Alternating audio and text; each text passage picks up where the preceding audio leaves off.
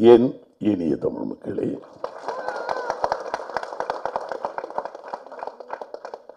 மேடையிலே அமர்ந்திருக்கும் சக கலைஞர்களே இயக்குனர் பெருமக்களே ஊடகங்களே அனைவருக்கும் வணக்கம். பொதுவாக இசை வெளியீட்டு விழா ட்ரெய்லர் சம்பிரதாயமாகவே இந்த படத்தை நூறாவது நாளில் சந்திப்போம். மிகப்பெரிய வெற்றி அடையும் இப்படியும் சொல்லி சொல்லி ஒரே மாதிரி நான் ஒத்துக்கிறது இல்லை அதுலேயும் இந்த படம் நாமளே நடிச்சிட்டு போய் நாமளே எப்படிடா பிபி ஊதுறது அப்படின்னு யோசித்தேன். பட் நல்ல கலைஞர்களை வளருகின்ற கலைஞர்களை ஊக்கப்படுத்தவில்லை என்றால் நாம் கலைஞர் அல்ல. ஆகினா இதிலிருந்து இனிமேல் ஒரு சந்தர்ப்பம். அஹ், கலைஞர்களை ஒன்று கூடி சந்திப்பதே ஒரு பெரிய சந்தர்ப்பம். அதற்காகவே இனி விழாக்கள் நேரம் இருக்குமே ஆனால் தவிர்க்க முடியாது. அதை அட்டன் பண்ணிடுவோம்னு முடிவு பண்ணேன். இது ஒரு சினிமா இப்போ நான் ஏற்கனவே சுசீதன்ட்டு ஒரு படம் பண்ணேன். அதில் நடித்தேன். பட் இந்த படத்தில் ஒரு குடும்பத்தோடு வாழ்ந்தேன் ஐ டோன்ட் ஃபீல் எட்டால் அந்த ஒரு டேரக்டராகவோ ஒரு நடிகனாகவோ எனக்கு ஃபீலிங் வரவே இல்லை. நல்ல சுவாமி அவர்கள் கொடுத்து வச்சவர். அதாவது ஈன்ற பொழுதில் பெய்து வைக்கும் தன் மகனை சார்ந்தவன் என கட்டத்தா என்ன தகப்பேன்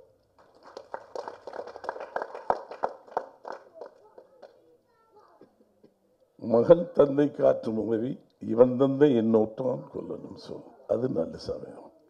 சுசீதன் ஹேட்ஸ் ஆஃப் யூ சினிமாவுக்கு வந்ததுக்கு பின்னாடி ஒவ்வொருவரும் மண்ணை நேசிக்கணும் மொழியை நேசிக்கணும் தாயை நேசிக்கணும் தகப்பனை நேசிக்கணும். இது சினிமாங்கிற ஒரு ஒரு கனவு பிரதேசம். இதில் வந்தோடனே நம்ம பறந்துடுவோம். இந்த மாதிரி ஒரு அற்புதமான வேர்ல்டு கிடையாது. வி ஹவ் டு ஃப்ளை யாருக்குமே ஒரு அம்பானிக்கு கூட கிடையாது இந்த சுகம். சினிமா கலைஞர்களுக்கு மட்டும்தான் கற்பனை சுகமும் இந்த இந்த வேறு வேற யாரும் கிடையாது. ஆனால் என்ன நான் சொல்லுவேன் என்னமோ ஏழு ஜென்மம் எட்டு. எந்த ஜென்மம் எடுத்தாலும் பாரத ராஜா மறுபடியும் பாரத ராஜாவாக இருக்க வேண்டும் இயக்குனராக இருக்க வேண்டும். அம்பானியா வாழ பெரியமே இல்லை எனக்கு. I want to be like Bharathiraja sir director பாருங்க அவன் குடும்ப படங்களுக்கு பிள்ளைகளையும் மேடையிலே வச்சுக்குவான் தூக்கி கையில் தூக்கி வச்சுக்குவான் பிள்ளைய. ஒரு டேரக்டர் மாதிரியே இருக்க மாட்டான். இஸ் எ லவபிள் பர்சன் அவன் வந்து ஒரு படத்தில் ஏதோ வந்து சம்பிரதாயத்துக்காண்டி மேடையில் சொல்லல. வெரி லவபிள் ஃபெலோ ஃபேமிலி அதே மாதிரி இந்த whole group as a family நான் ரொம்ப ஒரு குடும்பத்தில் விளையாடி பின்னாடி நிற்கிறாங்களே வீராங்கனைகள். நீங்கள் ஆச்சரியம். இந்த பிள்ளைங்கள்லாம் வந்து வில்லேஜில் சினிமாவில் என் இந்த வெளிச்சங்கள் பார்க்காத பிள்ளைகள். விவசாய வீட்டு பிள்ளைகள். அற்புதமான பிளேயர்ஸ் கபடியில் தே ஆர் கிரேட் ஆனால் எக்ஸ்பிரஷன் பாருங்கள் ஒரு தொழில் சம்பந்தமாக இருக்கிறவங்க கூட அந்த எக்ஸ்பிரஷன் அந்த பிள்ளைங்க அத்தனை பேருக்கும் எக்ஸ்பிரஷன் வரும். ஆச்சரியமாக வரும் ஏன்னா நடிக்கணும்னு ஃபீலில் வாழ்ந்தார்கள். They lived in that characters அதில் பின்னாடி அத்தனை பிள்ளைகளுக்கும் சல்யூட் பண்ணணும் நம்ம. வெயில் மா இது பார்க்குறதே கிடையாது. நம்மனா கொஞ்சம் ரெஸ்ட் எடுக்கணும்னு ஆர்டிஸ்ட்னா ஒரு கொடையை பிடிச்சிட்டு போய் எங்கேயோ ஒரு பையன் பக்கத்தில் உட்காந்து ஒரு துண்டை கொடுப்பான் தூச்சிக்கிட்டு எல்லாம் கிடையாது.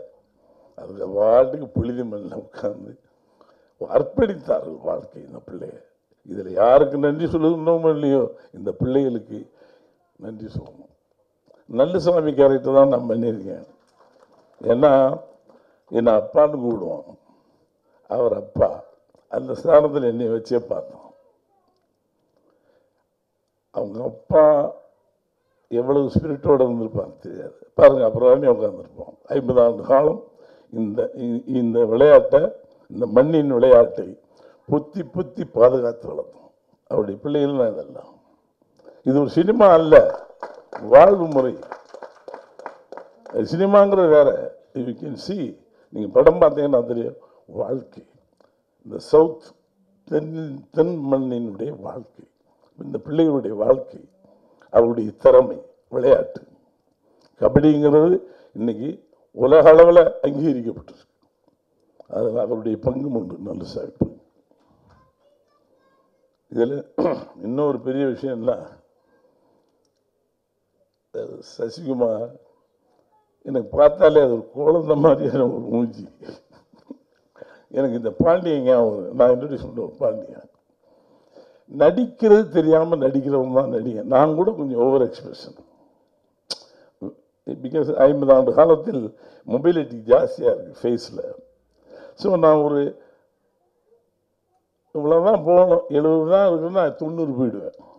மூஞ்சி கொஞ்சம் போயிடும். டேப்லெட் போட்டு வார்த்தை சசி அவள் அவன் எவன் ஒருவன் நடிப்பது தெரியாமல் நடிக்கின்றானோ அவன் தான் நடிக்கும் அது சசி. நீங்கள் பாருங்க. யதார்த்தமாக இருக்கு இதுதான் மூஞ்சி போட்டு அப்படி ஓ ஆ அதெல்லாம் இருக்காது. இது வந்து நடிப்பு. சிவாஜி காலத்துலேருந்து நாங்கள் கற்றுக்கிட்டு இன்னும் மாற்ற முடியாமல் உட்காந்து எக்ஸ்பிரஷன் தான். ஏன்னா மொபைலிட்டி ஜாஸ்தி ஆயிடுச்சு ஃபேஸில் நம்மளுடைய அது இயல்பு இருக்கணும். அதில் சசி இஸ் கிரேட் அவன் வந்து சிரிக்கிறது அழகாக இருக்கு. சின்ன பிள்ளை பார்த்தா கூட அவன் மூஞ்சி பிடிக்கும். அப்படி ஒரு மூஞ்சி. இட்ஸ் வெரி நைஸ் லவபிள் ஏன்னா நான் நல்ல வேலை நடிக்க போனதுனால இவங்கெல்லாம் பழக முடிஞ்சு இல்லைன்னா நூறு நடிகை நான் தூரம் இருந்து பார்த்துருப்பேன். அவர் நெருங்கி பழகும் போது தான் குழந்தையா இருந்தது ஐ லவ் ஹிம் அந்த பொண்ணு ஹீரோயின் பெரிய சரித்திரம் இருக்குது அவள் அப்போ நானும் தான் ஒன்றா இருந்தது சென்னையில் முதல் very beginning Govindarajan. Now is நோமோ முத முத என்ன சென்னைக்கு லெட்டர் போட்டு வர வச்சு. வந்து நானும் அவனும் ஒரே ரூமில் உட்காந்துருந்தோம் இந்த வடபழனியில் அந்த காலத்தில் ஒரு சின்ன சின்ன இதெல்லாம் இருந்தது. அது எனக்கு அவனுக்கு ஒரு சின்ன சண்டை வந்து போடான்ட்டு தூக்கி போட்டு போயிட்டேன். அதுக்கப்புறம் ஒரு காலத்தில் அவனை சந்திக்கும் போது தான் இதெல்லாம் குழந்தையாக இருந்துச்சு அப்போ. அவன் வீட்டு விசேஷத்துக்கு போனேன். அவன் நடிகையாகி இன்னைக்கு நான் உட்காந்து பார்த்துட்ருக்கேன் இவ்வளோ குழந்தையில பார்த்தது. சார் கோவிந்தராஜ் போயிட்டான் but is very kind of world இது உலகம் இது வந்து நீ இந்த ஒரு அற்புதமான உலகம். அதில் ஒரு அற்புதமான உலகம் சினிமா. கனவு மாதிரி. இது நிரந்தரம் இல்லை கனவு மாதிரி. பட் ரொம்ப அதை கூட இந்த இது ஒரு தொழிலாக இல்லாமல் சிரமம் எடுத்து இதை அற்புதமாக செய்திருக்கான் சுசீந்திரன். ஏன்னா நான் கூட கொஞ்சம் இப்படி இப்படி பண்ணுவான். அவன் வந்து கமர்ஷியலும் இருக்காது வயா மீடியா என்ன கொஞ்சம் வயா மீடியா தான் போகும். ரொம்ப ஆர்ட் ஃபில்ம் மாதிரி இருக்காது. ரொம்ப வியாபாரத்தும் மீம் இருக்காது. அதனால் யூ மெயின்டைன் இட் இல்லைன்னா ஒரு மியூசிக் டெவலப்னாலும் ஒரே ஜேனில் போயிருக்குல்ல இமான் அவர் பாடியை குறைச்சாரு திறமையை வளர்த்துட்டார். அப்பவும் அவங்கள்ட்ட திறமை இருந்துச்சு. நானும் அவரும் செய்ய வேண்டிய ஒரு படம் நின்று போச்சு. இமான். இன்றைக்கி இன்னைக்கு நான் பார்த்தேன் இதில் ஒரு இந்த சாங் கபடி ஆடும்போது போடுவோம். பாட்டு போட்டு எடுத்த படம் அல்ல. படம் எடுத்த பின்னாடி எடிட் பண்ணி அதுக்கப்புறம் போட்ட சாங் நீங்கள் ஒரு சாங்க அந்த சாங்குடைய வைப்ரேஷன் என்ன சொல்லுதோ அதான் ஷூட் பண்ணுவோம்.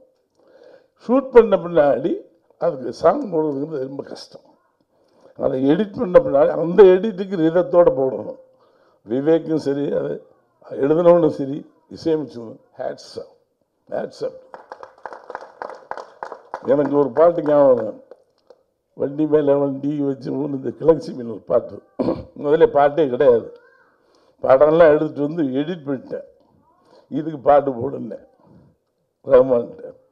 என்னங்க உங்கள் பாட்டுக்கு நீங்களே எடுத்துகிட்டு வந்துட்டீங்கன்னா நீ எடுத்துட்டு வந்தது நீ பாட்டு போடுறத? நான் இசைக்கலைன்னு ஒரு சேலஞ்சை விட்டேன். அற்புதமாக போட்டிருக்கோம். அதெல்லாம் ஞாபகம் வந்துச்சு எனக்கு. சம்டைம்ஸ் டேரக்டர்களுக்கு ஆன் த ஸ்பாட் ஒரு ஃபீலிங்லேயே படம் எடுத்துருவோம். இசையமைப்பாளருக்கு சொல்ல மாட்டேன். இங்கே வந்து எக்ஸ்பிளைன் பண்ணும்போது அவன் அதுக்கு ஈடு கொடுத்து உள்ளே வர்றது பெரிய கஷ்டம். அதை செஞ்சுருக்கேன் ma'am hats off to you editor Antony நான் இதுதான் ஃபஸ்ட் டைம் பார்க்குறேன். நான் படம் பார்க்கும்போது ஆண்டனி ஆண்டனின்னா என்ன ஆண்டனி பெரிய எடிட்டர் தான் இவன் தான் மெயின் எடிட்டர் இன்றைக்கி இருக்க பெரிய எடிட்டர் அப்படி அந்த படம்லாம் பார்ப்பேன். கட்டிங்ஸ் எல்லாம் சரி நைஸ் ஏன்னா இவங்க நான் எங்கள் காலத்தில் டைரக்டர் டிக்டேட்டர்ஷிப் நான் உட்கார்ந்து every frame I should decide இன்னைக்கு வரைக்கும் அதான். ஒரு டிக்டேட்டர்ஷிப் எனக்கு. பட் எதை எடுத்து கொடுத்தாலும் வெட்டி விட்டு தான் எடிட்டர் அதை அதை கதை பண்ணணும். கதையை கேட்டு வச்சுட்டு போங்க எடிட் பண்ண. அது ஆண்டனி ரொம்ப நிறைய படங்கள் பார்த்தேன். கட்டிங் ஸ்டைல் பார்த்துட்டு இருப்பேன். ஒன்றுமே இல்லாத கூட ஏதோ ரிதம் பண்ணி கத்திப்பு சொன்னேன் இன்றைக்கி என்ன ஒரே இருந்தாலும் நான் பார்த்ததே இல்லையாடா? ஆண்டனி என்ன? என் பக்கத்தில் உட்காந்துருக்கும்போது ஒருத்தர் வந்தார் உட்காந்தாரு பாப்கார்ன் கொடுத்தாரு. என்ன பாப்கார்ன் கொடுக்குறாரு யாருன்னு தெரியலையே. ஒன்று எடுத்து வாயில் வச்சுக்கிட்டேன். அவன் எடுத்துன்னு இல்லை ஒட்டை பக்கம் தான் அடிமெல்லாம் போட்டு கிளாஸாக இருக்கானே அப்படி மேடை ஏறும்போது தெரிஞ்சுதான் ஆண்டனி. சாரி அதே மாதிரி லெனின் பேசும்போது பேசுகிறான் ஏன் நீ குறைச்சி பேசுற? நிறைய பேசு. பேசும் பொழுது பிரச்சனைகள் வர வேண்டும். பிரச்சனைகள் தான் தீர்வு சொல்லும். நீ வந்து பேசு. சமீபத்தில் நீ பேசிய பேச்சு அற்புதம். ஏன் நீ போய் டெல்லி ஏன் நீ இது பண்ற? What you said is correct மிகப்பெரிய கலவரங்களும் ஒரு பள்ளி மாணவர்கள் நடந்திருக்கு. அதை பற்றி சொல்லும்போது போலீஸ்காரன் கையை ஒடிச்சிட்டான். மாணவனின் கையை ஒடிச்சு இல்லை. இதற்கு துண்டுகோலாக இருந்த சினிமாவில் காட்சிப்படுத்துகின்றான். அந்த ஐகனுடைய கையோடி நடித்தவுடைய கையோடின்னு கேட்டான். எவன் கேட்போம் ஹேட்ஸ் அப் ஏன்னா வி காட் சம் ரெஸ்பான்சிபிலிட்டி சினிமாவில். வயலன்ஸ் ஷுட் பி த கொஞ்சம் இருக்கலாம். ரொம்ப வயலன்ஸ் இருந்ததுன்னா இ- இ- இந்த சொசைட்டியை எங்கேயோ கொண்டு போயிடும். நான் சினிமாவில் தான் இருக்கேன். சண்டை எடுக்கலாம். அது கூட ஒரு ஒரு ஒரு லெவல் தான். பார்ப்பவனை தூண்டி விடக்கூடாது பதிவு எவ்வளோ அதனால் லெனின் நீ பேசிய பேசி இன்னும் பேசு. நீ பயப்படாத. பேசு. நாங்கள்லாம் பின்னாடி இருக்கோம். எல்லாருக்கும் என்ன என்ன சொல்கிறது தெரியல. ஆல் த டிகிரின்னு பேசுகிற தயாரிப்பாளர்கள் எல்லாம் பாரத ராஜா பாரத ராஜா ஐம்பது ஆண்டு காலம் சினிமாவில் நீங்கள் எல்லாம் வர்றதுக்கு முன்னாடி நான் வந்துட்டேன். பட் ஒரே விஷயம் நல்லதை செய்வோம் சினிமாவில். Because we got more responsibility இந்த சொசைட்டியில் நமக்கு பெரிய சமூக பொறுப்பு சினிமாக்காரனுக்கு தான் இருக்குது வேறு யாருக்கும் இல்லை. அரசியல்வாதிக்கு கூட கிடையாது. They are already corrupted but cinema man is a clean man கற்பனைகளை சுமந்திருப்போம் you have to do something for the society இந்த சொசைட்டிக்கு நீங்கள் எவ்வளவு செய்யணும்? இந்த சமூகத்துக்கும் மொழிக்கும் மண்ணுக்கும் இனத்திற்கும் விசுவாசமாக இருங்கள். எதிர்கால சமுதாயம் கெட்டுப்போகாத அளவுக்கு நல்ல படங்களை கொடுப்போம் என்று கூறி என் பின்னால் நிற்கும் என் பிள்ளைகள் ஹேட்ஸ் ஆஃப் திஸ் கேர்ள்ஸ் நீங்கள் அன்பிலீவபிள் நான் கையெடுத்து கும்பிடணும்னா அந்த பிள்ளைகளை தான் கும்பிடணும். ஏன்னா கிட்டத்தட்ட ஒரு ஐம்பது அறுபது நாட்கள் தொழில் முறை இல்லாமல் வாழ்ந்தார்கள். அது மட்டும் இல்லை ஒரு நூறு ஸ்போர்ட்ஸ் விளையாடிருப்பாங்க நூறு இரநூறு என்ன ஸ்டேட் மேட்ச்சு சென்ட்ரல் மேட்ச் அடி கையில் காயம் இங்கே பையனை எந்திரிச்சு ஓடி போயிருப்பான் எல்லாவற்றையும் தாங்கி கொண்டார்கள் அந்த பிள்ளைகளுக்கு ரொம்ப நன்றி வாங்க சார் வேற என்ன சார் சொல்லணுமா சார் என் பிள்ளை ஒன்று அற்புதமான பையன் எதிர்காலத்தில் பத்து சுசீந்திரன் தேங்க்யூ சொல்லிடு Ah. Eh, eh, Nandi.